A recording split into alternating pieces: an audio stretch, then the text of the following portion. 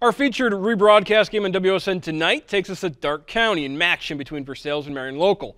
Both teams began season with nine straight wins, but have run into rough spells. Flyers have lost two of three. The Tigers have dropped four in a row, but they both remain in the thick of the MAC race. Tigers trying to snap out of the skid as they take on the Flyers. Off the miss, Evan Flippo gathers the rebound and gets the hook to fall as Versailles grabs the early advantage. Flyers go inside to Adam Bertke, three-time state champ quarterback, gets the hoop. More from the visitors. Marion Local coming up court. Dustin Rethman finds the driving Luke Knapke, and Knapke goes off.